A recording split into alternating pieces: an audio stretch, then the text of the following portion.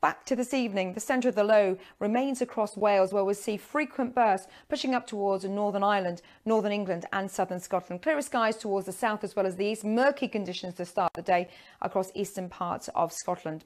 Through tomorrow, showers from the word go across the north as well as the west, and then they'll develop inland through the afternoon. Sunshine and showers, some of them, as I said, will be heavy with the risk of thunder. Rain arrives across the far south later on in the day. Before that, though, temperatures the mid-teens. And here's your outlook for the next few days.